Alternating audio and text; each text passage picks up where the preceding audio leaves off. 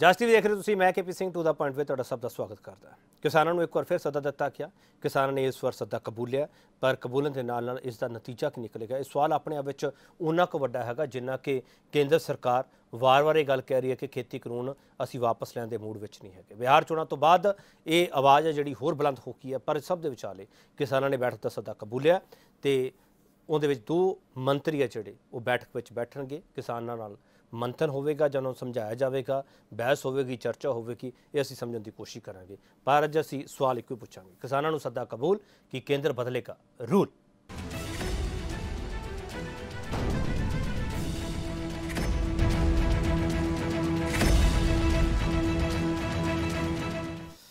ਇਸ ਚਰਚਾ ਨੂੰ ਸ਼ੁਰੂ ਕਰਨ ਤੋਂ ਪਹਿਲਾਂ ਕਿਸਾਨ ਜਥੇਬੰਦੀਆਂ ਦਾ ਜੋ ਮੰਥਨ ਹੋਇਆ ਚੰਡੀਗੜ੍ਹ ਦੇ ਵਿੱਚ ਜਦੋਂ ਫੈਸਲਾ ਕੀਤਾ ਗਿਆ, ਉਦੋਂ ਕਿਸਾਨ ਜਥੇਬੰਦੀਆਂ ਨੇ ਕਿਹਾ ਕਿ ਪਹਿਲਾਂ ਉਹ ਸੁਣ ਲਈਏ। 26 27 ਨੂੰ ਜਿਹੜਾ ਆਲ ਇੰਡੀਆ 'ਚ ਅਸੀਂ ਫੈਸਲਾ ਕੀਤਾ ਹੋਇਆ, ਪੰਜਾਬ ਦੀਆਂ ਸਾਰੇ ਜਥੇਬੰਦੀਆਂ ਟਰੈਕਟਰ, ਟਰਾਲੀ ਤੇ ਦਿੱਲੀ ਦਾ ਘਰਾਓ ਕਰਨਗੀਆਂ, ਉਹ ਵਿਰੋਧਬੰਦੀ ਬਣ ਚੁੱਕੀ ਆ। ਕੱਲ ਜੇ ਕੋਈ ਗੱਲ ਸਾਡੀ ਨਹੀਂ ਨਿਬੜਦੀ, ਉਹ ਸਾਡਾ ਜਿਉਂਦਾ ਤੋਂ 26 27 ਜਿਹੜੀ ਤਰੀਕ ਕਹੀ ਹੋਈ ਆ, ਹਜ਼ਾਰਾਂ ਟਰੈਕਟਰ, ਟਰਾਲੀ, ਲੱਖਾਂ 'ਚ ਕਿਸਾਨ ਆਪਣਾ ਰਾਸ਼ਨ ਨਾਲ ਲੈ ਕੇ ਟਰੈਕਟਰ, ਟਰਾਲੀਆਂ 'ਚ ਤੰਬੂ ਲਾ ਕੇ ਪੱਕੇ ਤੌਰ ਤੇ ਦਿੱਲੀ ਘੇਰਨ ਤੱਕ ਜਾਣਗੇ, ਜਦ ਤੱਕ ਇਹ ਤਿੰਨੇ ਕਾਨੂੰਨ ਵਾਪਸ ਨਹੀਂ ਲਏ ਜਾਂਦੇ, ਜਦ ਤੱਕ ਸੰਘਰਸ਼ ਉੱਥੇ ਲੜਿਆ ਜਾਊਗਾ। ਜੇ ਉੱਥੇ ਸਰਕਾਰ ਆਪਣੀ ਮਨਸ਼ਾ ਦੇ ਹਿਸਾਬ ਨਾਲ, ਸਾਡੀ ਮਨਸ਼ਾ ਦੇ ਹਿਸਾਬ ਨਾਲ ਗੱਲ ਕਰਦੀ ਆ, ਤਾਂ ਉਹਦਾ ਫੈਸਲਾ 18 ਤਰੀਕ ਨੂੰ ਮੀਟਿੰਗ ਰੱਖੀ ਹੋਈ ਆ, ਉਹਦੇ 'ਚ ਫੈਸਲਾ ਕੀਤਾ ਜਾਊਗਾ ਵੀ ਅਗਲੀ ਰਣਨੀਤੀ ਕੀ ਹੋਊਗੀ। ਅੱਜ ਅਸੀਂ 26 27 ਤਰੀਕ ਤੇ ਰਹਿਣਾ ਤੇ ਸਾਡੀਆਂ ਤਿਆਰੀਆਂ ਟਰੈਕਟਰ ਟਰਾਲੀਆਂ ਨਾਲ ਲੱਖਾਂ ਕਿਸਾਨ ਲੈ ਕੇ ਜਾਣ ਦੀ ਹੈਗੀ ਹੈ ਤੇ ਜਿਹੜੀ ਦੀਵਾਲੀ ਆ, ਉਹ ਦੀਵਾਲੀ ਵਾਲੇ ਦਿਨ ਅਸੀਂ ਮਿਸਾਲ ਜਗਾ ਕੇ ਉਹ ਦੀਵਾਲੀ ਮਨਾਵਾਂਗੇ। ਮਿਸਾਲਾਂ ਜਗਾ ਕੇ। ਤੇ ਗੰਨੇ ਦਾ ਜਿਹੜਾ ਮੁੱਲ ਹਰਿਆਣੇ ਨੇ ਵਧਾਇਆ।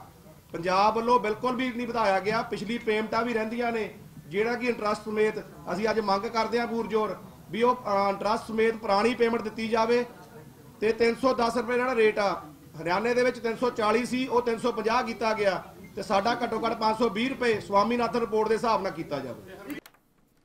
ਸਵਾਲ ਇੱਕੋ ਪੁੱਛਿਆ ਜਾਵੇਗਾ। ਵੱਡਾ ਸਵਾਲ ਅਸੀਂ ਇਹ ਡਿਬੇਟ ਦੇ ਵਿੱਚ ਪੁੱਛਾਂਗੇ ਕਿ ਕਿਸਾਨਾਂ ਨੇ ਬੈਠਕ ਦਾ ਸੱਦਾ ਕਬੂਲਣ ਦੇ ਨਾਲ ਕੇਂਦਰ ਨੂੰ ਅਲਟੀਮੇਟਮ ਕਿਉਂ ਦਿੱਤਾ? ਇਹ ਸਵਾਲ ਆਪਣੇ ਆਪ ਵਿੱਚ ਵੱਡਾ ਤੇ ਇਸੇ ਸਵਾਲ ਤੇ ਬਹਿਸ ਹੋਵੇਗੀ। ਪਹਿਲਾਂ ਸਾਡਾ ਮੌਜੂਦ ਹੈਗਾ ਹਰਨੇਕ ਸਿੰਘ ਬੀਕੇਯੂ ਡਕੌਂਦਾ ਦੇ ਨੁਮਾਇੰਦੇ ਨੇ। ਹਰਨੇਕ ਸਿੰਘ ਜੀ ਇਸ ਅੰਦੋਲਨ ਬਾਰੇ ਤੇ ਸਿਆਸਤ ਕੀ ਕਰਦੀ ਪਈ ਹੈ ਉਸ ਬਾਰੇ ਬਖੂਬੀ ਜਾਣਦੇ ਇਸ ਕਰਕੇ ਨੂੰ ਸੱਦਿਆ। ਹਰਨੇਕ ਸਿੰਘ ਜੀ ਬਹੁਤ ਸਵਾਗਤ ਹੈ ਸਰ ਤੁਹਾਡਾ। ਸਤਿ ਸ੍ਰੀ ਅਕਾਲ ਸਤਿ ਸ਼੍ਰੀ ਅਕਾਲ ਜੀ। ਦਿਆਲ ਸੋਢੀ ਭਾਰਤੀ ਜਨਤਾ ਪਾਰਟੀ ਦੇ ਬੁਲਾਰੇ ਆ ਤੇ ਸੀਨੀਅਰ ਆਗੂ ਨੇ ਪੰਜਾਬ ਤੇ ਇਸ ਕਰਕੇ ਇਹਨਾਂ ਨੂੰ ਸੱਦਿਆ। ਇਹਨਾਂ ਨੇ ਮੀਟਿੰਗ ਤੋਂ ਪਹਿਲਾਂ ਹੀ ਕਹਿ ਦਿੱਤਾ ਸੀਗਾ ਕਿ ਅਸੀਂ ਪੂਰੀ ਤਿਆਰੀ ਕਰ ਲਈ ਆ ਤੇ ਬੈਠਕ ਹੋਵੇਗੀ ਜ਼ਰੂਰ। ਦਿਆਲ ਸੋਢੀ, ਤੁਹਾਡਾ ਬਹੁਤ ਸਵਾਗਤ ਹੈ। ਹਰਦੀਪ ਸਿੰਘ ਕਿੰਗਰਾ ਕਾਂਗਰਸ ਦੇ ਬੁਲਾਰੇ ਆ। ਇਹ ਬਹੁਤ ਹੀ ਉੱਚ ਅਹੁਦੇ ਤੇ ਰਹੇ ਆ ਤੇ ਹਰਦੀਪ ਸਿੰਘ ਕਿੰਗਰਾ ਹਰਾਂ ਨੂੰ ਪਤਾ ਕਿ ਬੈਠਕਾਂ ਹੁੰਦੀਆਂ ਕਿਵੇਂ ਆ ਤੇ ਬੈਠਕਾਂ ਦੇ ਵਿੱਚ ਏਜੰਡੇ ਕਿਵੇਂ ਵਿਚਾਰੇ ਜਾਂਦੇ। ਜਦੋਂ ਗੱਲ ਕੇਂਦਰੀ ਮੰਤਰੀ ਤੱਕ ਪਹੁੰਚਦੀ ਹੈ ਉਦੋਂ ਪੰਜਾਬ ਸਰਕਾਰ ਦਾ ਕੀ ਰੋਲ ਰਹਿਣ ਵਾਲਾ, ਇਹ ਹਰਦੀਪ ਸਿੰਘ ਕਿੰਗਰਾ ਸਮਝਣ ਦੀ ਕੋਸ਼ਿਸ਼ ਕਰਾਂਗੇ। ਹਰਦੀਪ ਸਿੰਘ ਕਿੰਗਰਾ, ਤੁਹਾਡਾ ਬਹੁਤ ਸਵਾਗਤ ਹੈ। ਅਮਰਜੀਤ ਸਿੰਘ ਧਾਰਨੀ। ਸ਼੍ਰੋਮਣੀ ਅਕਾਲੀ ਦਲ ਦੇ ਬੁਲਾਰੇ ਆ ਤੇ ਅਮਰਜੀਤ ਸਿੰਘ ਧਾਰਨੀ ਪੇਸ਼ੇ ਤੋਂ ਵਕੀਲ ਵੀ ਹੈ ਤੇ ਇਹਨਾਂ ਨੂੰ ਲੀਗਲ ਜਿਹੜੀਆਂ ਚੀਜ਼ਾਂ ਹੈਗੀਆਂ ਉਸ ਬਾਰੇ ਵੀ ਜਾਣਕਾਰੀ ਹੈਗੀ ਹੈ ਪਰ ਸਿਆਸੀ ਤੌਰ ਤੇ ਸ਼੍ਰੋਮਣੀ ਅਕਾਲੀ ਦਲ ਜਿਹੜਾ ਕਿ ਕੇਂਦਰ ਵਿੱਚ ਅਸਤੀਫਾ ਦੇ ਕੇ ਬੈਠਾ ਉਹ ਹੁਣ ਕੀ ਸੋਚਦਾ ਪਿਆ ਇਸ ਬੈਠਕ ਦੇ ਬਾਰੇ ਉਹ ਇਹਨਾਂ ਸਮਝਣ ਦੀ ਕੋਸ਼ਿਸ਼ ਕਰਾਂਗੇ। ਧਾਰਨੀ ਸਾਹਿਬ ਤੁਹਾਡਾ ਬਹੁਤ ਸਵਾਗਤ ਹੈ ਸਰ। ਸਭ ਤੋਂ ਪਹਿਲਾ ਸਵਾਲ ਦਿਆਲ ਸੋਢੀ ਤੁਹਾਨੂੰ ਕਰਨਾ ਚਾਹੂੰਗਾ। ਦਿਆਲ ਸੋਢੀ ਜੀ ਦਿਆਲ ਸੋਢੀ ਜੀ ਤੁਸੀਂ ਜਿਸ ਤਰੀਕੇ ਨਾਲ ਇਸ ਮੀਟਿੰਗ ਤੋਂ ਪਹਿਲਾਂ ਸਰਜੀਤ ਜਿਆਨੀ ਤੇ ਉਹਨਾਂ ਦੀ ਅਗਵਾਈ ਦੇ ਵਿੱਚ ਜਿਹੜਾ ਵਫਦ ਗਿਆ ਸੀਗਾ ਹਰਜੀਤ ਗਰੇਵਾਲ ਤੇ ਹੋਰ ਜਿਹੜੇ ਉੱਥੇ ਤੁਹਾਡੇ ਨੁਮਾਇੰਦੇ ਗਏ ਸੀਗੇ ਉਦੋਂ ਇਹ ਤਸਵੀਰ ਪੇਸ਼ ਕੀਤੀ ਗਈ ਸੀ ਕਿ ਰਾਜਨਾਥ ਸਿੰਘ ਹਰੀ ਵੀ ਉਸ ਬੈਠਕ ਦਾ ਹਿੱਸਾ ਹੋ ਸਕਦੇ ਆ। ਪਰ ਜਦੋਂ ਇਹ ਸੱਦਾ ਪੱਤਰ ਆਂਦਾ ਉਦੋਂ ਰੇਲਵੇ ਮੰਤਰੀ ਤੇ ਖੇਤੀਬਾੜੀ ਮੰਤਰੀ ਦਾ ਆਉਂਦਾ ਸਰ ਇਹਦੀ ਵਜ੍ਹਾ ਦੱਸ ਸਕਦੇ ਹੋ ਦਿਆਲ ਸੋਢੀ ਜੀ? ਟੂ ਦਾ ਪੁਆਇੰਟ ਹੀ ਦੱਸਿਓ ਸਰ ਜੇ ਵਜ੍ਹਾ ਹੈਗੀ ਤੁਹਾਡੇ ਕੋਲ ਤਾਂ। ਸਭ ਤੋਂ ਪਹਿਲਾਂ ਤਾਂ ਜਸ ਟੀਵੀ ਦੇ ਸਰੋਤਿਆਂ ਨੂੰ ਮੇਰੇ ਵੱਲੋਂ ਸਤਿ ਸ੍ਰੀ ਅਕਾਲ। ਸਤਿ ਸ਼੍ਰੀ ਅਕਾਲ ਜੀ। ਹਾਂ ਕੇਪੀ ਸਿੰਘ ਜੀ ਜਿਸ ਦਿਨ ਮੀਟਿੰਗ ਹੋਈ ਆ ਰਾਜਨਾਥ ਜੀ ਦੇ ਘਰ ਉਸ ਦਿਨ ਤਿੰਨੋਂ ਮੰਤਰੀਆਂ ਦੀ ਸ਼ਮੂਲੀਅਤ ਬਾਰੇ ਜਿਹੜਾ ਸੀਗਾ ਦੱਸਿਆ ਗਿਆ ਸੀ।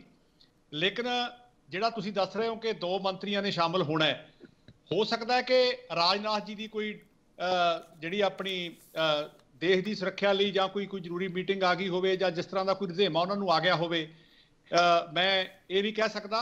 ਲੇਕਿਨ ਖੇਤੀਬਾੜੀ ਮੰਤਰੀ ਤੇ ਜਿਹੜੇ ਰੇਲਵੇ ਮਿਨਿਸਟਰ ਨੇ ਉਹ ਜ਼ਰੂਰ ਜਿਹੜੇ ਹੈਗੇ ਸ਼ਾਮਲ ਹੋਣਗੇ।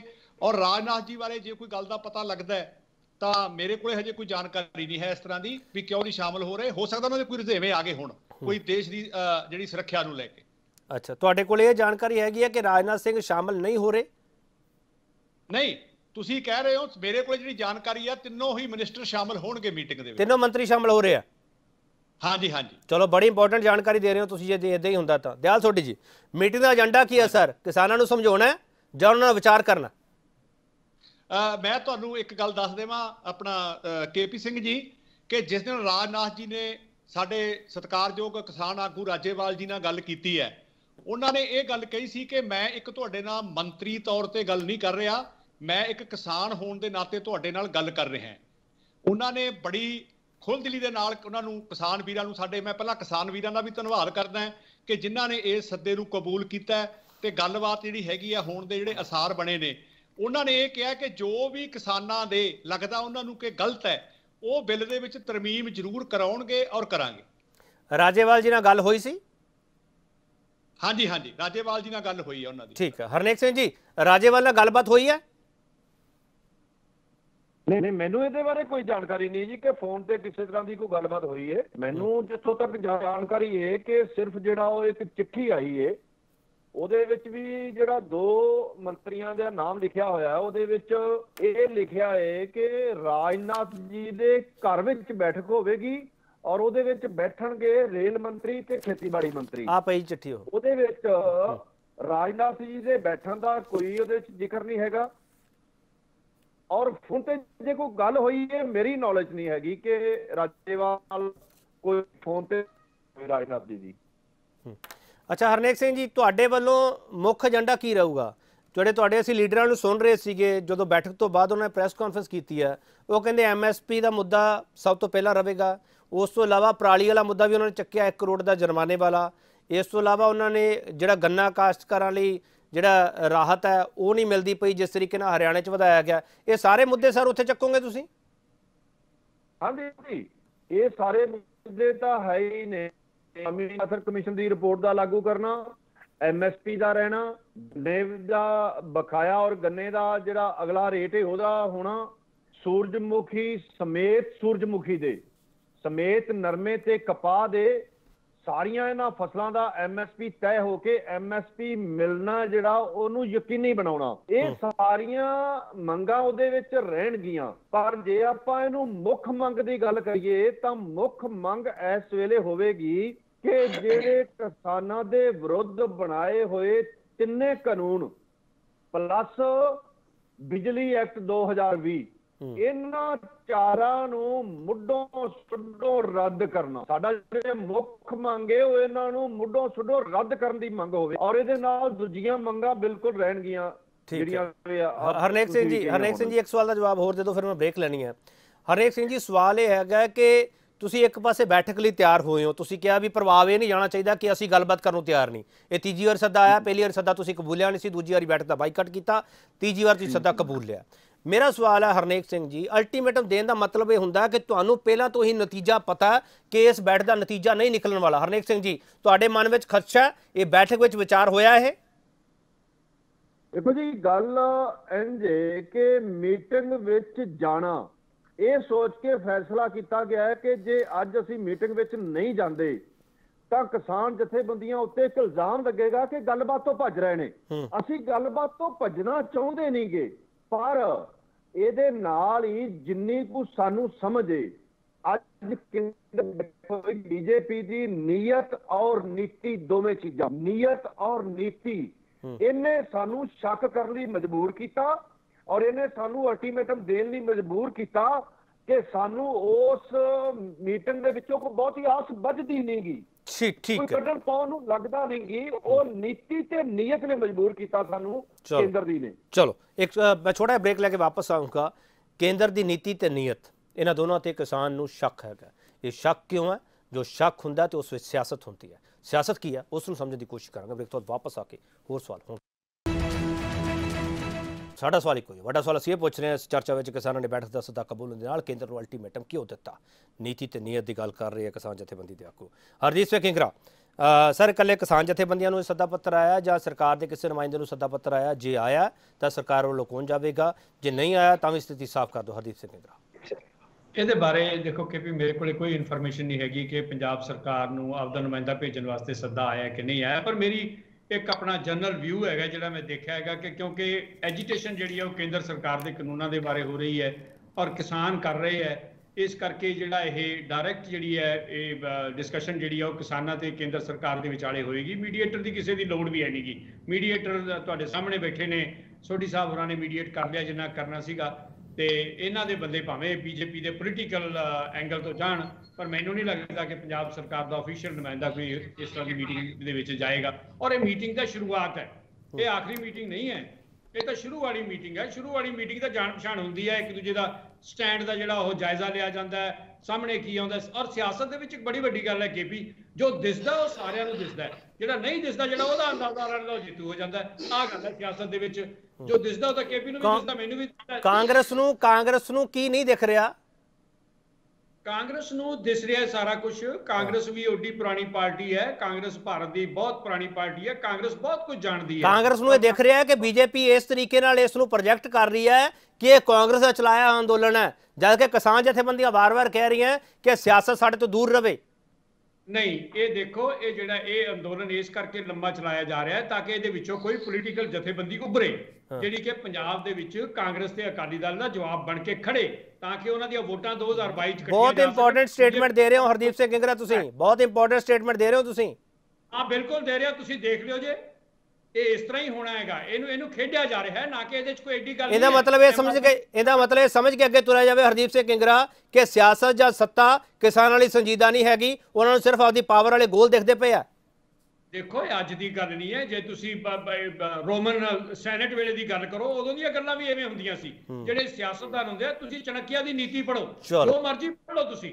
ਸਿਆਸਤਦਾਨ ਦਾ ਇੱਕੋ ਤਰੀਕਾ ਹੁੰਦਾ ਹੈਗਾ ਕਿ ਕਿਸ ਤਰ੍ਹਾਂ ਸੱਤਾ ਦੇ ਵਿੱਚ ਰਿਹਾ ਜਾਵੇ।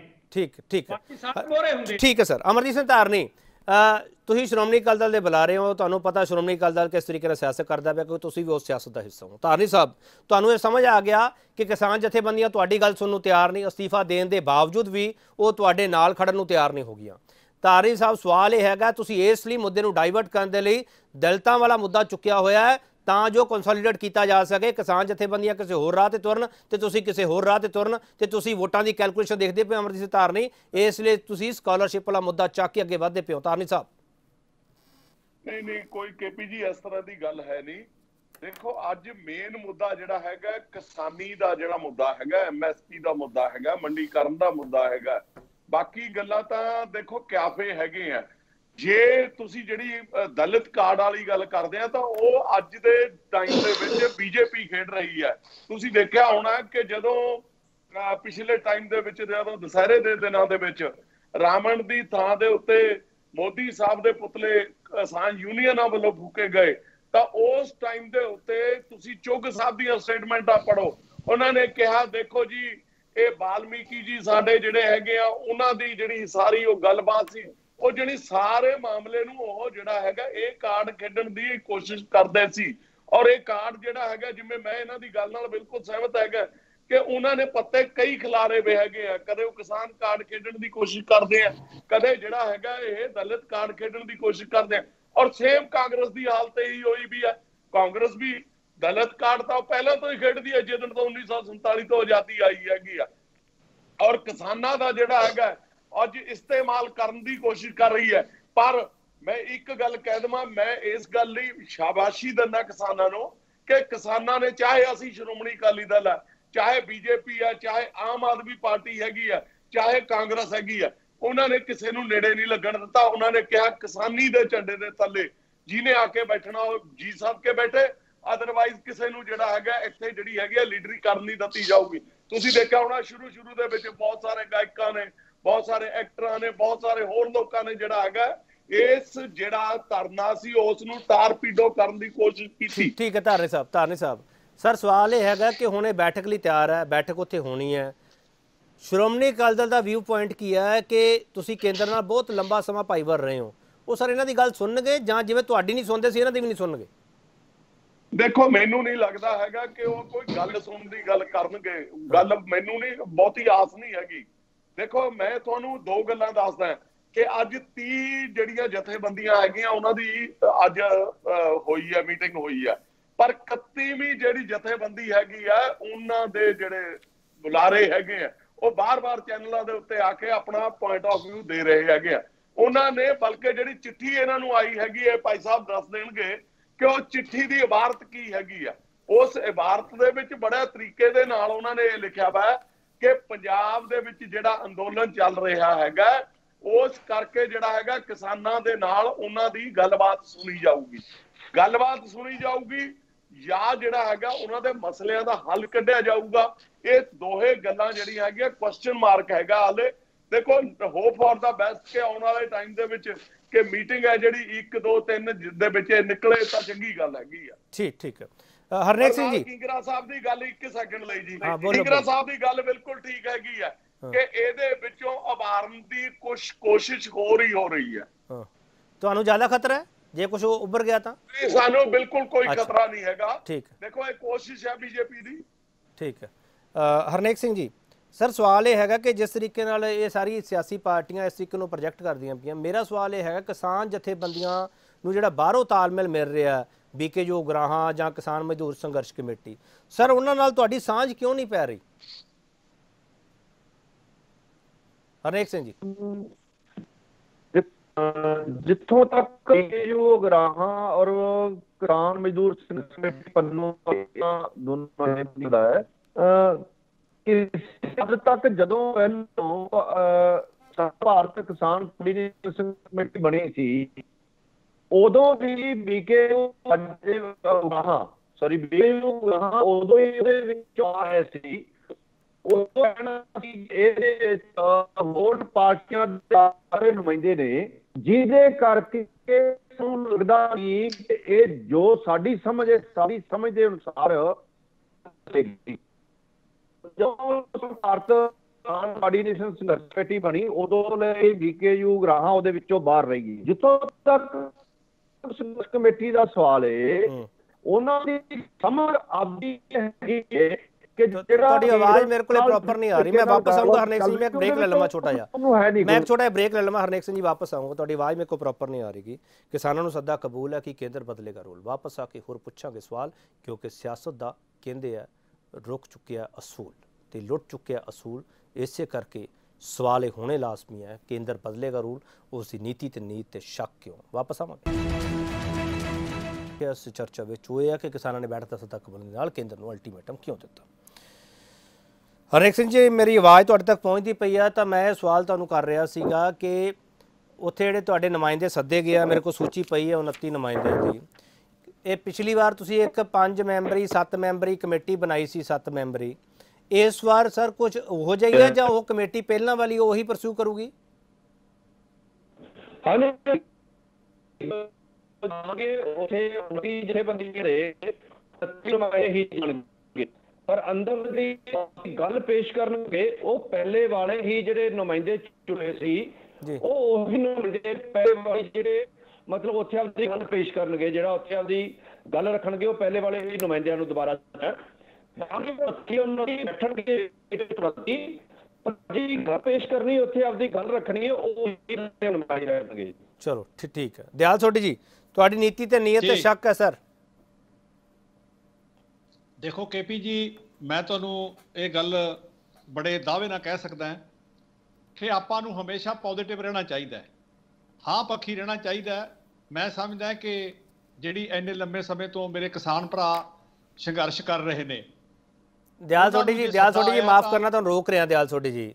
ਜੋ ਸਰ ਤੁਸੀਂ ਬਿਹਾਰ ਜਿੱਤਿਆ ਪੰਜਾਬ ਦੇ ਵਿੱਚ ਤੁਸੀਂ ਐ ਪ੍ਰਚਾਰਿਆ ਕਿ ਬਿਹਾਰ ਜਿੱਤ ਲਿਆ, ਹੁਣ ਪੰਜਾਬ ਦੀ ਵਾਰੀ ਹੈ ਤੇ ਖੇਤੀ ਕਾਨੂੰਨਾਂ ਨੇ ਉਥੇ ਸਾਨੂੰ ਜਿੱਤ ਦਿੱਤੀ ਹੈ। ਸਰ, ਤੁਸੀਂ ਇੱਥੇ ਪ੍ਰਚਾਰ ਤਾਂ ਇਹ ਕੀਤਾ, ਤੁਸੀਂ ਕਹਿੰਦੇ ਆਸ਼ਾਵਾਦੀ ਸੋਚ ਰੱਖਣੀ ਚਾ- ਚਾਹੀਦੀ ਸਾਨੂੰ। ਹਾਂ, ਪੱਖੀ ਰਵਈਆ ਹੋਣਾ ਚਾਹੀਦਾ ਸਰ। ਆਸ਼ਾਵਾਦੀ ਕਿਵੇਂ ਹੋ ਜਾਈਏ ਸਰ? ਜੋ ਤੁਸੀਂ ਪਹਿਲਾਂ ਹੀ ਕਹਿ ਚੁੱਕੇ ਹੋ, ਡਿਕਲੇਅਰ ਕਰ ਚੁੱਕੇ ਹੋ ਖੇਤੀ ਕਾਨੂੰਨਾਂ ਤੋਂ ਵਾਪਸ ਨਹੀਂ ਮੁੜਨਾ। ਦਿਆਲ ਤੁਹਾਡੀ ਜੀ। ਦੇਖੋ, ਮੇਰਾ ਕਹਿਣਾ ਇਹ ਹੈ ਕਿ ਜਿਹੜੇ, ਇਹ ਜਿਹੜੇ ਕਾਨੂੰਨ ਖੇਤੀਬਾੜੀ ਨਾਲ ਸੰਬੰਧਿਤ ਨੇ, ਹਰਿਆਣਾ ਔਰ ਪੰਜਾਬ ਦੇ ਵਿੱਚ ਜਿਹੜੀ ਐਮਐਸਪੀ ਤੇ ਸਰਕਾਰੀ ਮੰਡੀਆਂ ਦੀ ਜਿਹੜੀ ਗੱਲ ਕਰਕੇ ਸਾਹਮਣੇ ਆਈ ਹੈ ਜਿਹਦੇ ਕਰਕੇ ਸੰਘਰਸ਼ ਵੀ ਕਿਸਾਨ ਭਰਾਵਾਂ ਨੇ ਕੀਤਾ ਹੈ। ਔਰ ਉਹਨਾਂ ਦੇ ਮਨ 'ਚ ਇਸ ਗੱਲ ਦੀ ਵੀ ਜਿਹੜੀ ਸੀਗੀ ਸ਼ੰਕਾ ਹੈ ਕਿ ਇਹ ਚੀਜ਼ਾਂ ਖਤਮ ਹੋ ਜਾਣਗੀਆਂ। ਇਸ ਕਰਕੇ ਮੈਂ ਚਾਹਣਾ ਹੈ ਕਿ ਜਿਹੜਾ ਕੇਂਦਰ ਨੇ ਸੱਦਾ ਦਿੱਤਾ ਹੈ ਤੇ ਉਹਦੇ ਵਿੱਚ ਬੈਠ ਕੇ ਟੇਬਲ ਟਾਕ ਤੇ ਗੱਲ ਹੋਊਗੀ। ਔਰ ਜੋ ਵੀ ਇਹ ਕੋਈ ਇੱਕ ਤੁਹਾਨੂੰ ਮੈਂ ਇਹ ਵੀ ਦੱਸਣਾ ਚਾਹਣਾ ਹੈ ਕਿ ਇੱਕ ਕੋਆਰਡੀਨੇਸ਼ਨ ਕਮੇਟੀ ਬਣ ਰਹੀ ਹੈ ਹੂੰ। ਜਿਹੜੀ ਕਿ ਓਵਰਆਲ ਜਿੰਨੀਆਂ ਵੀ ਕਿਸਾਨ ਜਥੇਬੰਦੀਆਂ ਸਾਰੇ ਇੰਡੀਆ ਦੇ ਵਿੱਚ ਹੈਗੀਆਂ ਸਾਰਿਆਂ ਨਾਲ ਤਾਲਮੇਲ ਦੀ ਗੱਲ ਚੱਲ ਰਹੀ ਹੈ ਔਰ ਪਹਿਲਾਂ ਇਸ ਕਰਕੇ ਕਿ ਪੰਜਾਬ ਦੇ ਵਿੱਚ ਜਿਹੜੀ ਗੱਲ ਹੋਈ ਹੈ ਕਿ ਕਿਸਾਨ ਜਥੇਬੰਦੀਆਂ ਨਾਲ ਕੀਤੀ ਜਾਵੇ ਉਹਦੇ ਲਈ ਪਹਿਲਾਂ ਪਹਿਲ ਕੀਤੀ ਗਈ ਹੈ ਮੈਨੂੰ ਪੂਰੀ ਉਮੀਦ ਹੈ ਕਿ ਇਹਦੇ ਵਿੱਚ ਕੋਈ ਜਿਹੜੀ ਹੈਗੀ ਹੈ ਬਹੁਤ ਵਧੀਆ ਗੱਲ ਨਿਕਲ ਕੇ ਆਊਗੀ। ਕੋਆਰਡੀਨੇਸ਼ਨ ਕਮੇਟੀ ਦੀ ਅਗਵਾਈ ਮਿਸਟਰ ਰਾਜਨਾਥ ਕਰ ਰਹੇ ਆ ਜਾਂ ਕੋਈ ਹੋਰ ਹੈ? ਉਹ ਤੈਅ ਹੋ ਜਾਵੇਗਾ ਕੇਂਦਰ ਵੱਲੋਂ ਕਿ ਕਿੰਨਾਂ ਨੂੰ ਉਹਦਾ ਕੋਆਰਡੀਨੇਟਰ ਲਾਉਣਾ ਹੈ। ਉਹ ਤੈਅ ਹੋ ਜਾਏਗਾ ਇੱਕ ਦੋ ਦਿਨਾਂ ਦੇ ਵਿੱਚ। ਤੁਹਾਡੀਆਂ ਦਿਆਲ ਸੋਢੀ ਜੀ ਤੁਹਾਡੀਆਂ ਗੱਲਾਂ ਬਾਤਾਂ ਤੋਂ ਮੈਨੂੰ ਇਉਂ ਲੱਗਦਾ ਹੈ ਕਿ ਤੁਸੀਂ ਇਸ ਤੇ ਸਿਰਫ ਚਰਚਾ ਕਰਨੀ ਹੈ ਵਾਪਸ ਨਹੀਂ ਮੁੜਨਾ ਨਹੀਂ ਨਹੀਂ। ਦੇਖੋ ਮੈਂ। ਤੁਹਾਨੂੰ ਦੱਸਣਾ ਚਾਹਣਾ। ਮੈਂ ਮੇਰੀ ਮੇਰੀ ਮੈਂ ਤੁਹਾਨੂੰ ਇਹ ਗੱਲ ਦੱਸਣਾ ਚਾਹਣਾ ਕੇਪੀ ਜੀ ਕਿ ਜੋ ਉੱਥੇ ਕਿਸਾਨਾਂ ਨੂੰ ਬੁਲਾ ਕੇ ਜੋ ਵੀ ਇਹਨਾਂ ਨੂੰ ਲੱਗ ਰਿਹਾ ਕਿ ਇਸ ਖੇਤੀਬਾੜੀ ਦੇ ਜਿਹੜੇ ਕਾਨੂੰਨ ਬਣੇ ਆ ਇਹਨਾਂ ਦੇ ਵਿੱਚ ਇਸ ਤਰ੍ਹਾਂ ਜੋ ਉਹਨਾਂ ਨੂੰ ਆਉਣ ਵਾਲਾ ਜਿਸ ਚੀਜ਼ ਦਾ ਵੀ ਡਰ ਹੈ ਉਹ ਹੋ ਸਕਦਾ ਕਿ ਤਰਮੀਮ ਕਰਕੇ ਉਹਨੂੰ ਦੂਰ ਕਰਕੇ ਜਿਹੜਾ ਹੈਗਾ ਕਿਸਾਨਾਂ ਦੇ ਸ਼ੰਕੇ ਦੂਰ ਕੀਤੇ ਜਾਣ ਤਰਮੀਮ ਦਾ ਤੁਸੀਂ ਇਸ਼ਾਰਾ ਕਰ ਰਹੇ ਹੋ? ਤੁਹਾਡੇ ਨਾਲ ਗੱਲਬਾਤ ਹੋਈ ਹੈ? ਦੇਖੋ ਜਿਹੜਾ ਕੰਪਰੋਮਾਈਜ਼ ਜਾਂ ਸਮਝੌਤਾ ਹੈ ਉਹ ਟੇਬਲ ਟਾਕ ਤੇ ਬੈਠ ਕੇ ਹੋਣਾ ਹੈ। ਕਿਸਾਨ ਵੀਰਾਂ ਨੇ ਜਾ ਕੇ ਸਾਰੀ ਗੱਲ ਦੱਸਣੀ ਹੈ ਕਿ ਸਾਨੂੰ ਇਸ ਚੀਜ਼ ਨਾਲ ਆਹ ਨੁਕਸਾਨ ਹੈ। ਔਰ ਕੇਂਦਰ ਨੂੰ ਜੇ ਲੱਗਦਾ ਹੈ ਲੱਗੂਗਾ ਤੇ ਉਹਦੇ ਚ ਤਰਮੀਮ ਕਰਨ ਦੇ ਵਿੱਚ ਵੀ ਕੋਈ ਮੈਨੂੰ ਲੱਗਦਾ ਦੇਰੀ ਨਹੀਂ ਹੋਊ। ਦਿਆਲ ਸੋਢੀ ਨੂੰ ਲੱਗਦਾ ਹੈ ਕਿ ਕਿਸਾਨਾਂ ਨੂੰ ਜਿਹੜਾ ਨੁਕਸਾਨ ਹੈ ਜਿਹੜਾ ਕੇਂਦਰ ਨੂੰ ਜਾ ਕੇ ਉਹਨਾਂ ਨੇ ਦੱਸਣਾ ਹੈ ਪੰਜਾਬ ਬੀਜੇਪੀ ਨੂੰ ਉਹ ਨੁਕਸਾਨ ਦਾ ਪਤਾ ਹੈ ਜਾਂ ਨਹੀਂ ਪਤਾ? ਕਿਸ ਤਰ੍ਹਾਂ ਜੀ? ਜਿਹੜਾ ਕਿਸਾਨਾਂ ਨੂੰ ਨੁਕਸਾਨ ਦਾ ਖਦਸ਼ਾ ਪੰਜਾਬ ਬੀਜੇਪੀ ਨੂੰ। ਪਤਾ ਹੈ? ਨਹੀਂ ਦੇਖੋ ਕੇਪੀ ਜੀ ਗੱਲ ਇਹ ਹੈ ਕਿ ਜੋ ਕਿਸਾਨਾਂ ਨੇ ਆਪਣੀ ਗੱਲ ਰੱਖਣੀ ਹੈ ਕੇਂਦਰ ਦੇ ਜੋ ਵਜ਼ੀਰ ਬੈਠਣੇ ਹੈ ਉਹਨਾਂ ਦੇ ਅੱਗੇ ਰੱਖਣੀ ਹੈ ਜੇ ਸਾਨੂੰ ਲੱਗਦਾ ਹੈ ਕਿ ਵਾਕਈ ਕਿਸਾਨਾਂ ਦਾ ਇਹ ਜਿਹੜਾ ਹੈਗਾ ਨੁਕਸਾਨ ਹੈ ਜਾਂ ਜਿਸ ਤਰ੍ਹਾਂ ਦੀ ਉਹ ਸ਼ੌਰਟੀ ਚਾਹੁੰਦੇ ਨੇ ਤੇ ਉਹ ਕੇਂਦਰ ਪੂਰੀ ਕਰ ਸਕਦਾ ਇਹਦੇ ਵਿੱਚ ਕੋਈ ਮੈਂ ਕਹਿੰਦਾ ਮੇਰੇ ਮੇਰੇ ਵਾਲੀ ਸਵਾਲ ਦਾ ਜਵਾਬ ਨਹੀਂ ਦਿੰਦੇ ਪਏ ਦਿਆਲ ਸੋਢੀ ਜੀ ਤੁਸੀਂ। ਦਿਆਲ ਸੋਢੀ ਤੁਸੀਂ ਕਿਸਾਨ ਦੀ ਕੱਲੀ ਕੱਲੀ ਚੀਜ਼ ਤੋਂ ਵਾਕਿਫ ਹੋ।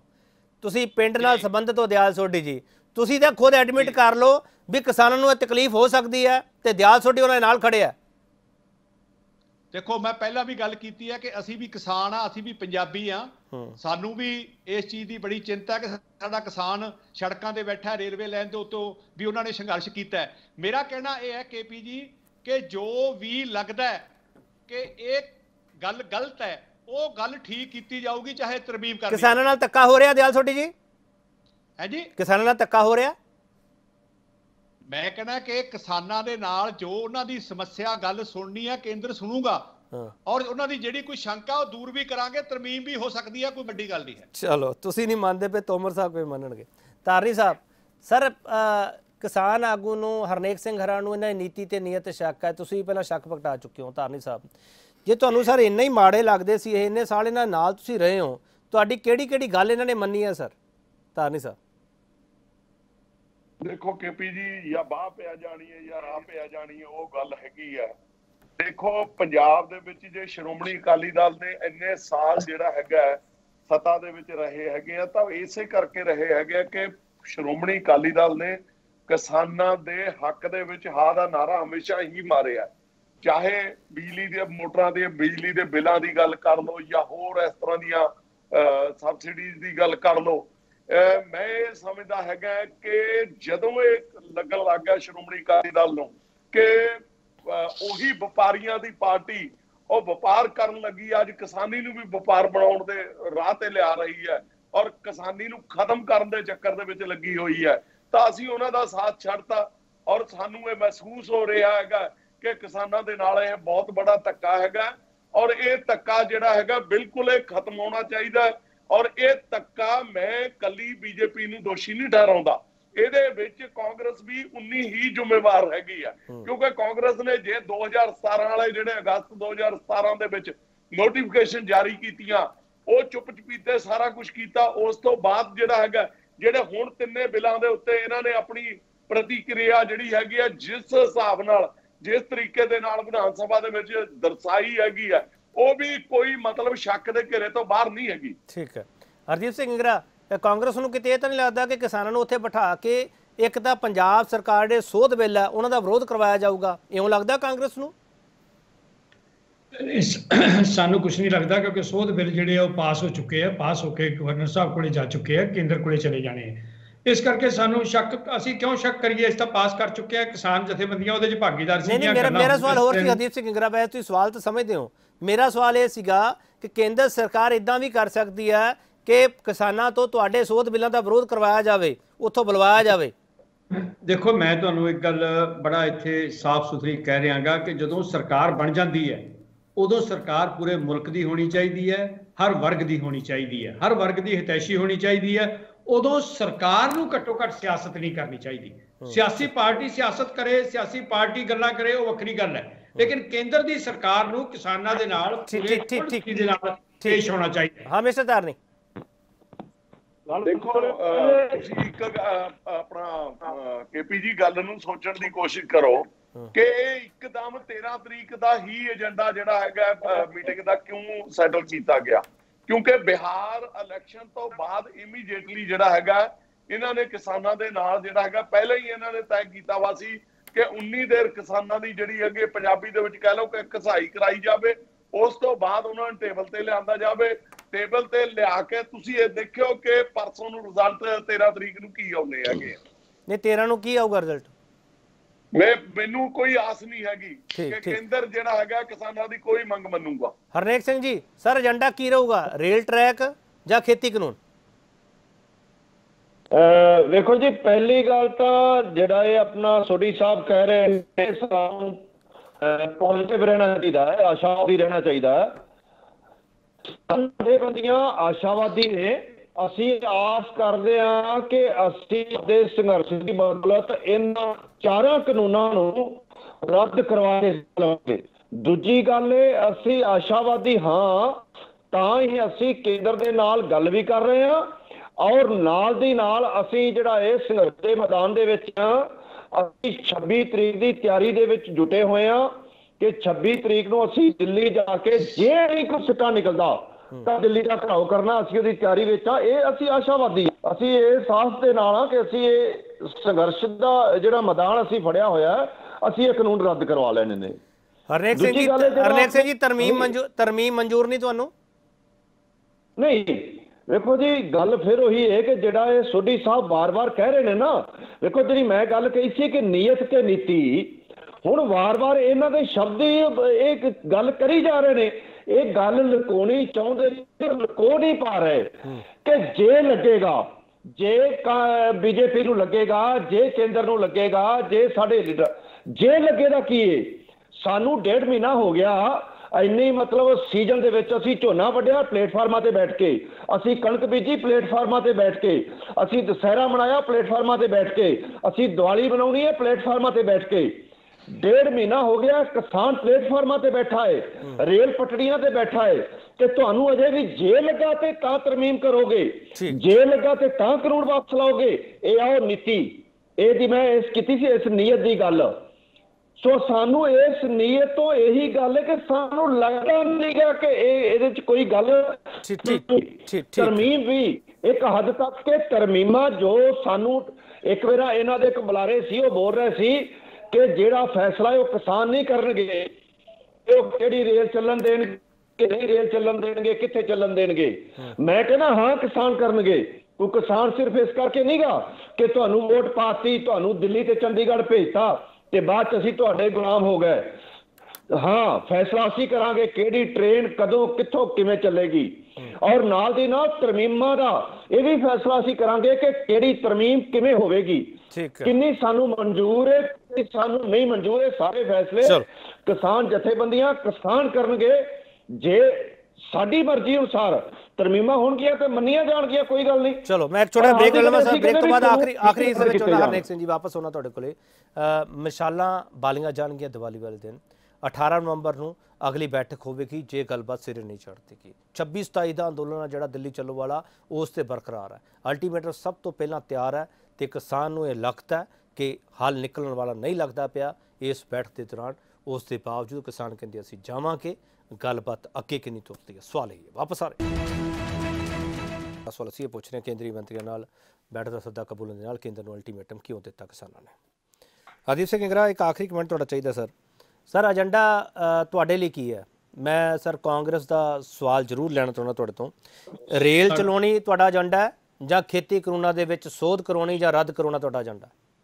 ਦੇਖੋ ਸਾਡਾ ਏਜੰਡਾ ਅਸੀਂ ਕਿਸਾਨਾਂ ਦੇ ਹੱਕ 'ਚ ਖੜੇ ਆਂ ਪੋਲੀਟੀਕਲ ਪਾਰਟੀ ਦੇ ਤੌਰ ਦੇ ਉੱਤੇ ਸਰਕਾਰ ਦੇ ਤੌਰ ਦੇ ਉੱਤੇ ਅਸੀਂ ਬੜਾ ਕਲੀਅਰ ਕਰ ਦਿੱਤਾ। ਮੈਂ ਤੁਹਾਨੂੰ ਇੱਕ ਵਾਰ ਹੋਰ ਦੱਸਦਾ ਕੇਪੀ ਕੀ ਭਾਰਤ ਦੇ ਵਿੱਚ ਕਰਪਸ਼ਨ ਬੰਦ ਹੋ ਗਈ?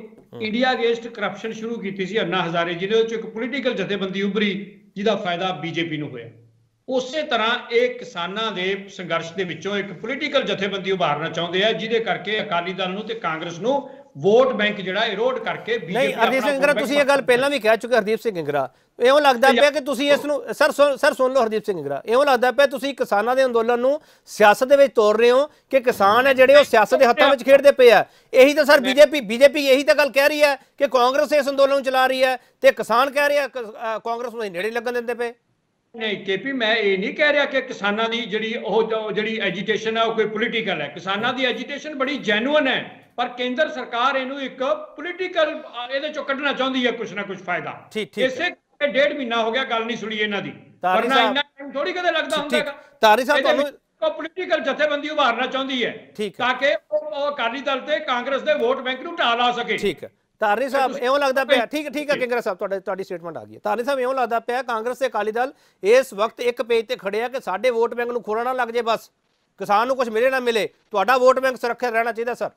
ਇਹ ਗੱਲ ਨਹੀਂ। ਇੱਕ minute mister Kingra mister Kingra ਮੈਂ ਤੁਹਾਡੀ ਸਟੇਟਮੈਂਟ ਲੈ ਲਈ ਸਰ। ਦੇਖੋ ਦੇਖੋ ਸ਼੍ਰੋਮਣੀ ਅਕਾਲੀ ਦਲ ਤਕਰੀਬਨ ਤਕਰੀਬਨ ਸਾਰਾ ਇਹਦਾ ਸਾਰਾ ਇਫੈਕਟ ਹੁੰਦਾ ਕਿਉਂਕਿ ਸ਼੍ਰੋਮਣੀ ਅਕਾਲੀ ਦਲ ਕਿਸਾਨਾਂ ਦੀ ਪਾਰਟੀ ਆ ਸਿੱਖਾਂ ਦੀ ਪਾਰਟੀ ਆ ਔਰ ਜ਼ਿਮੀਂਦਾਰਾਂ ਦੀ ਪਾਰਟੀ ਹੈਗੀ ਹੈ। ਇਸ ਕਰਕੇ ਜੇ ਸ਼੍ਰੋਮਣੀ ਅਕਾਲੀ ਦਲ ਬਾਅਦ ਦੇ ਵਿੱਚ ਹੈ ਢਿੱਡ ਔਰ ਰੋਟੀ ਜਿਹੜੀ ਹੈਗੀ ਆ ਪਹਿਲਾਂ ਹੈਗੀ ਆ ਜੇ ਕਿਸਾਨ ਮਰਦਾ ਹੈਗਾ ਤਾਂ ਪਾਰਟੀਆਂ ਦਾ ਕੋਈ ਆਧਾਰ ਨਹੀਂ ਰਹਿੰਦਾ ਹੈਗਾ। ਇਹ ਪਾਰਟੀ ਵਾਲੀ ਜਿਹੜੀ ਗੱਲ ਕਿੰਗਰਾ ਸਾਹਿਬ ਕਰ ਰਹੇ ਇਹਨਾਂ ਦੀ ਬਹੁਤ ਡੂੰਘੀ ਸੋਚ ਹੈ ਲੰਬੇ ਚੱਲ ਰਹੇ ਆ ਇਹਨਾਂ ਨੂੰ ਕਿਉਂਕਿ ਇਹਨਾਂ ਨੇ ਜਿਹੜੇ ਇਹ ਪੱਤੇ ਖੇਡਣ ਲੱਗੇ ਵੇ ਤੇ ਕਿਸਾਨਾਂ ਦੇ ਉੱਤੇ ਆਪਣੀ ਸਿਆਸਤ ਕਰ ਰਹੇ ਸੀ ਕਿਸਾਨਾਂ ਨੂੰ ਵਾਰਨ ਦੀ ਕੋਸ਼ਿਸ਼ ਕਰਦੇ ਸੀ। ਸਰ ਸਿਆਸਤ ਤੁਸੀਂ ਬਹੁਤ ਕੀਤੀ ਧਾਰਨੀ ਸਾਹਿਬ। ਪੰਜ ਸਰ ਧਾਰਨੀ ਸਾਹਿਬ ਧਾਰਨੀ ਸਾਹਿਬ ਗੁਣਗਾਨ ਤਾਂ ਤੁਸੀਂ ਬੜੇ ਗਾਏ ਆ। 5 ਜੂਨ ਨੂੰ ਦੇ ਕੇ ਅਸਤੀਫਾ ਆਉਂਦੇ ਨਾ ਫਿਰ ਇੱਥੇ।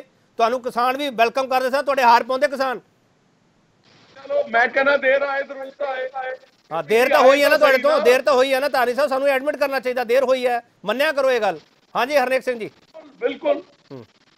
ਜੀ ਮੈਂ ਇਹ ਕਰਨਾ ਜਿਹੜਾ ਆਪਣੇ ਕਿੰਗਰਾ ਸਾਹਿਬ ਵਾਰ-ਵਾਰ ਖਦਸ਼ਾ ਜ਼ਾਹਿਰ ਕਰਦੇ ਪਏ ਨੇ ਇਸ ਵਕਤ ਪੰਜਾਬ ਦੇ ਕਿਸਾਨਾਂ ਦੀ ਵਾਗਡੋਰ ਬੜੇ ਸੁਚੱਜੇ ਤੇ ਸਿਆਣੇ ਜਥੇਬੰਦੀਆਂ ਦੇ ਆਗੂਆਂ ਦੇ ਹੱਥ ਦੇ ਵਿੱਚ ਸਮੇਤ ਕਾਂਗਰਸ ਸਮੇਤ ਅਕਾਲੀ ਬੀਜੇਪੀ, ਆਮ ਆਦਮੀ ਪਾਰਟੀ ਤੇ ਦੂਸਰੀਆਂ ਹੋਰ ਬੜੇ, ਮੈਂ ਕਹਾਂਗਾ ਬਰਸਾਤੀ ਡੱਡੂ ਚਾਹੇ ਜਿਹੜੀਆਂ ਪਾਰਟੀਆਂ ਨੇ, ਸਾਰੀਆਂ ਹੀ।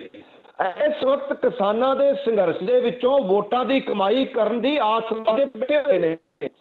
ਪਰ ਇੱਕ ਮੈਂ ਇਹਨਾਂ ਸਾਰਿਆਂ ਨੂੰ ਇਹ ਕਹਿ ਦੇਵਾਂ ਕਿ ਇਸ ਸੰਘਰਸ਼ ਦੇ ਵਿੱਚੋਂ ਕਦੇ ਵੀ ਆਸ ਨਾ ਕਰਿਓ ਕਿ ਤੁਹਾਨੂੰ ਕੁਝ ਖੱਟਣ ਕਮਾਉਣ ਲਈ ਅਸੀਂ ਦੇਵਾਂਗੇ।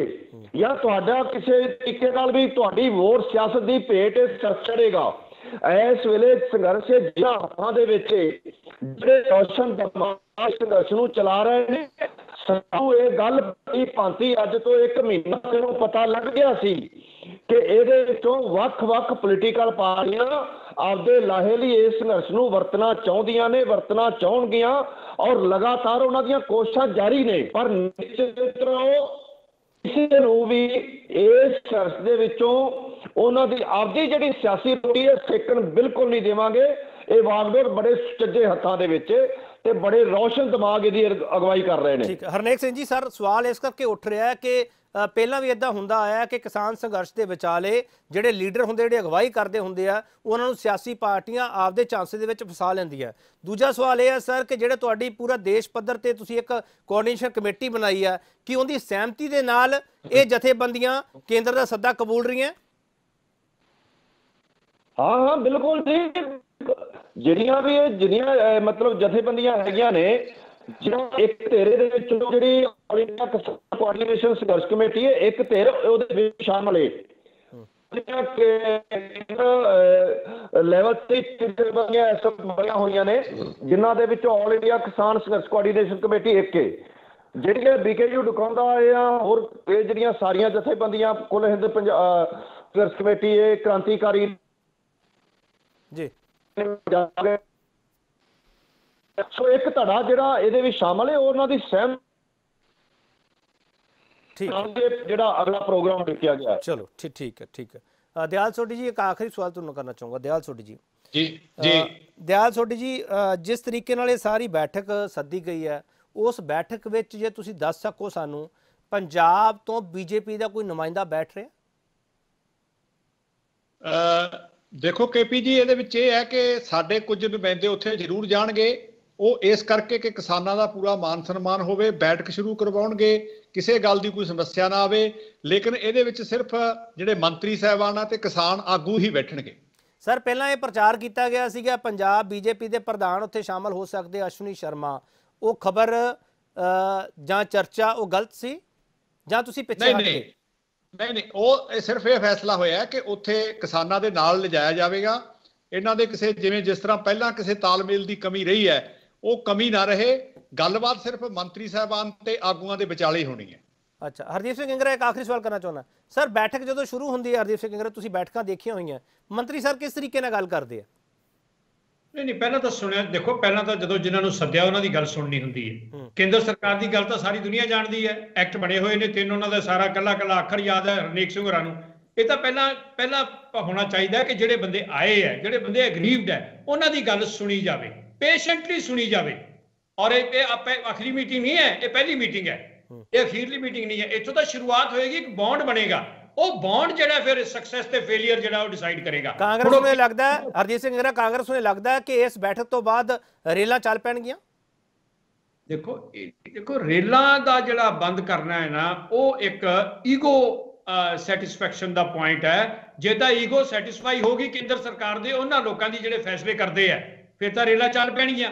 ਜੇ ਉਹਨਾਂ ਦੀ ਈਗੋ ਸੈਟੀਸਫਾਈ ਨਾ ਹੋਈ ਤਾਂ ਰੇਲਾਂ ਨਹੀਂ ਚੱਲਣਗੀਆਂ। ਹਾਂ ਅਤਾਰਨੀ ਸਾਹਿਬ ਰੇਲਾਂ ਹੀ ਚੱਲਣਗੀਆਂ ਖੇਤੀ ਕਾਨੂੰਨਾਂ ਦਾ ਕੋਈ ਹੱਲ ਨਹੀਂ ਨਿਕਲੇਗਾ। ਇਹੀ ਹੈ? ਨਹੀਂ ਨਹੀਂ ਬਿਲਕੁਲ ਨਹੀਂ। ਦੇਖੋ ਇੱਕ ਪਾਸੇ ਕਿਸਾਨ ਇਸ ਟਾਈਮ ਇਸ ਕਗਾਰ ਦੇ ਉੱਤੇ ਖੜੇ ਹੈਗੇ ਆ ਕਿ ਉਹ ਇੱਕ ਆਪਣਾ ਅੰਦੋਲਨ ਨੂੰ ਇੱਕ ਪੁਆਇੰਟ ਤੇ ਲਿਆਂਦਾ ਵਾ ਹੈਗਾ। ਔਰ ਸਾਡੇ ਮਾਨਯੋਗ ਮੁੱਖ ਮੰਤਰੀ ਸਾਹਿਬ ਕਹਿ ਰਹੇ ਆ ਨਹੀਂ ਜੀ ਤੁਸੀਂ ਜਿਹੜਾ ਹੈਗਾ ਪੈਸੰਜਰ ਗੱਡੀਆਂ ਨੂੰ ਚੱਲਣ ਦਿਓ। ਇਸ ਕਰਕੇ ਕਿਗਰਾ ਸਾਹਿਬ ਤੁਹਾਡਾ ਤਾਂ ਉਹਦੇ ਨਾਲ ਕੋਈ ਤਲਕੇ ਨਹੀਂ ਹੈਗਾ। ਗੱਡੀਆਂ ਰੋਕੀਆਂ ਕਿਸਾਨ ਯੂਨੀਅਨਾਂ ਨੇ ਹੈਗੀਆਂ। ਮੈਂ ਕਹਿੰਦਾ ਬਿਲਕੁਲ ਨਹੀਂ ਚੱਲਣ ਦੇਣੀਆਂ ਚਾਹੀਦੀਆਂ। ਮੈਂ ਇਸ ਗੱਲ ਦੇ ਨਾਲ ਬਤੌਰ ਕਿਸਾਨ ਸ਼੍ਰੋਮਣੀ ਅਕਾਲੀ ਦਲ ਨੂੰ ਛੱਡ ਦਿਓ। ਬਤੌਰ ਕਿਸਾਨ ਮੈਂ ਇਸ ਗੱਲ ਦੇ ਹੱਕ ਦੇ ਵਿੱਚ ਹੈਗਾ। ਧਾਰਨੀ ਸਾਹਿਬ ਮੈਂ ਤਾਂ ਆਪ ਇਹੀ ਗੱਲ ਕੀਤੀ ਹੈ। ਨਹੀਂ ਨਹੀਂ ਮੈਂ ਧਾਰੀ ਇੱਕ ਸਾਹਿਬ ਹੈਗਾ ਕਿ- ਸ਼੍ਰੋ- ਨਹੀਂ, ਨਹੀਂ, ਧਾਰੀ ਮੈਂ- ਸਾਹਿਬ ਸ਼੍ਰੋਮਣੀ ਅਕਾਲੀ ਦਲ ਗੱਲ ਨਹੀਂ ਤੁਸੀਂ ਮੁੱਖ ਮੰਤਰੀ ਸਾਹਿਬ ਦੀ ਗੱਲ ਕਰੋ ਉਹ- ਕੀ ਕਹਿ ਰਹੇ ਆ? ਚਲੋ ਠੀਕ ਠੀਕ ਹੈ। ਹਰਨੇਕ ਸਿੰਘ ਜੀ ਲਾਸਟ ਕਮੈਂਟ ਤੁਹਾਡਾ ਚਾਹੀਦਾ ਹਰਨੇਕ ਸਿੰਘ ਜੀ। ਸਰ ਸਿਆਸਤ ਦਾ ਏਜੰਡਾ ਰੇਲਾਂ ਚੱਲਣੀਆਂ ਚਾਹੀਦੀਆਂ। ਤੁਹਾਡਾ ਏਜੰਡਾ ਸਰ ਖੇਤੀ ਕਾਨੂੰਨ ਰੱਦ ਹੋਣੇ ਚਾਹੀਦੇ ਆ। ਕਿੰਨਾ ਏਜੰਡਾ ਤੁਹਾਨੂੰ ਲੱਗਦਾ ਕਿ ਸਫਲ ਹੋ ਸਕਦਾ? ਕਿਸ ਤਰ੍ਹਾਂ ਕਿਸ ਤਰ੍ਹਾਂ? ਦੁਬਾਰਾ ਸਵਾਲ ਕਰ ਰਹੇ ਹੋ? ਸਰ ਸਿਆਸਤ ਕਹਿ ਰਹੀ ਹੈ ਰੇਲਾਂ ਚੱਲਣੀਆਂ ਚਾਹੀਦੀਆਂ ਤੁਸੀਂ ਕਹਿ ਰਹੇ ਹੋ ਖੇਤੀ ਕਾਨੂੰਨ ਰੱਦ ਹੋਣੇ ਚਾਹੀਦੇ ਆ ਕੇਂਦਰ ਸਰ ਕਿਹੜੀ ਗੱਲ ਮੰਨ ਲੂਗਾ? ਤੁਹਾਨੂੰ ਕੋਈ ਉਮੀਦ ਜਾਪਦੀ ਹੈ? ਦੇਖੋ ਜੀ ਕੇਂਦਰ ਦਾ ਇਸ ਵਕਤ ਜਿਹੜੀ ਹੁੰਦੇ ਆ ਉਹਦੇ ਤੇ ਭਾਰੂ ਹੋਈ ਹੋਈ ਹੈ। ਅਸੀਂ ਚਾਹੁੰਦੇ ਆ ਕਿ ਰੇਸ ਚੱਲੇ। ਮਾਲ ਗੱਡੀ ਹੈ ਅਸੀਂ ਵੀ ਚਾਹੁੰਦੇ ਆ ਵੇਖੋ ਮਾਲ ਗੱਡੀ ਨੂੰ ਰਸਤਾ ਦੇਣ ਵਾਸਤੇ ਤਾਂ ਅਸੀਂ ਇਹਦਾ ਟਰੈਕ ਛੱਡ ਕੇ ਪਲੇਟਫਾਰਮ ਤੇ ਆਏ। ਜਿਹੜੀ ਕੇਂਦਰ ਦੀ ਹਕੂਮਤ ਦੀ ਜਿਹੜਾ ਹਉਮੈ ਆ ਉਹਨੂੰ ਉਹਨੂੰ ਮਤਲਬ ਉਹਦਾ ਢਿੱਡ ਨਹੀਂ ਭਰਿਆ। ਤਾਂ ਅਸੀਂ ਪਲੇਟਫਾਰਮ ਛੱਡ ਕੇ ਸਟੇਸ਼ਨ ਤੋਂ ਬਾਹਰ ਆਏ ਉਹਨਾਂ ਦੀ ਹਉਮੈ ਦਾ ਢਿੱਡ ਵੀ ਨਹੀਂ ਭਰਿਆ ਅਸੀਂ ਬਾਹਰ ਪਾਰਕਾਂ ਵਿੱਚ ਆ ਗਏ। ਸੋ ਅਸੀਂ ਤਾਂ ਇੱਕ ਦੇ ਰਹੇ ਆ ਇਹ ਰਸਤਾ।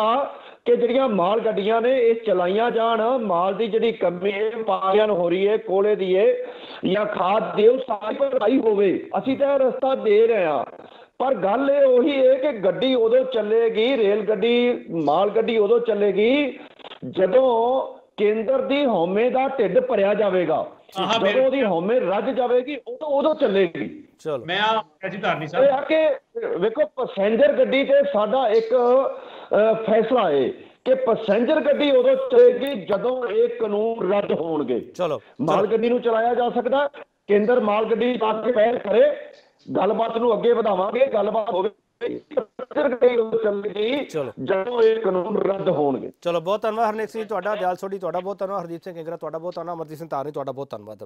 ਕੁੱਲ ਮਿਲਾ ਕੇ ਇਸ ਚਰਚਾ ਦੇ ਵਿੱਚੋਂ ਸਾਡੇ ਸਾਹਮਣੇ ਜਿਹੜੀ ਚੀਜ਼ ਸਾਹਮਣੇ ਆਈ ਹੈ ਉਹ ਇਹ ਨਿਕਲ ਕੇ ਆਈ ਹੈ ਕਿ ਕੇਂਦਰ ਦੀ ਨੀਤ ਤੇ ਨੀਤੀ ਦੋਨਾਂ ਤੇ ਸ਼ੱਕ ਹੈ ਕਿਸਾਨ ਨੂੰ ਉਸ ਦੇ ਬਾਵਜੂਦ ਬੈਠਕ ਹੋਵੇਗੀ, ਸੰਵਾਦ ਹੋਣਾ ਚਾਹੀਦਾ ਹੈ, ਗੱਲਬਾਤ ਅੱਗੇ ਤੁਰੇਗੀ, ਪਰ ਫੈਸਲਾ ਕੀ ਲਿਆ ਜਾ ਸਕਦਾ ਹੈ, ਇਹ ਸਵਾਲ ਆਪਣੇ ਵਿੱਚ ਵੱਡਾ ਹੈ, ਕਿਉਂਕਿ ਜਦੋਂ ਕਿਸਾਨ ਇਹ ਗੱਲ ਅਲਟੀਮੇਟਮ ਦੇ ਰੂਪ ਵਿੱਚ ਕਹਿ ਦੇਣ ਕਿ 18 ਨੂੰ ਅਗਲੀ ਬੈਠਕ ਕਰਾਂਗੇ 26 27 ਨੂੰ ਦਿੱਲੀ, ਚੱਲੋ ਸਾਡਾ ਉਸ ਤੇ ਬਰਕਰਾਰ ਹੈ ਤੇ ਦੀਵਾਲੀ ਤੇ ਮਸ਼ਾਲਾਂ ਜਲਾਵਾਂਗੇ। ਸਵਾਲ ਬਹੁਤ ਸਾਰੇ ਹੈ, ਕਿ ਕੇਂਦਰ ਬਦਲੇਗਾ ਰੂਲ? ਸਾਡਾ ਸਵਾਲ ਇਹੀ ਸੀ, ਕਿਸਾਨਾਂ ਨੇ ਸੱਦਾ ਕੀਤਾ ਕਬੂਲ, ਉਸ ਦੇ ਬਾਵਜੂਦ ਕੇਂਦਰ ਤੇ ਸ਼ੱਕ ਕਿਉਂ ਹੈ? ਇਸ ਸਵਾਲ ਦਾ ਜਵਾਬ ਜਦੋਂ ਬੈਠਕ ਹੋ ਜਾਵੇਗੀ, ਉਸ ਤੋਂ ਬਾਅਦ ਸਾਡੇ ਸਾਹਮਣੇ ਆ ਜਾਵੇਗਾ। ਪਰ ਅੱਜ ਦੀ ਚਰਚਾ ਤੋਂ ਮੈਨੂੰ ਇਉਂ ਲੱਗਦਾ ਪਿਆ ਕਿ ਕਿ 18 ਨੂੰ ਬੈਠਕ ਹੋਵੇਗੀ ਕਿਸਾਨਾਂ ਦੀ, ਅਗਲੀ ਰਣਨੀਤੀ ਸਾਡੇ ਕੋਲੇ ਆ ਜਾਵੇਗੀ। ਬਹੁਤ ਧੰਨਵਾਦ।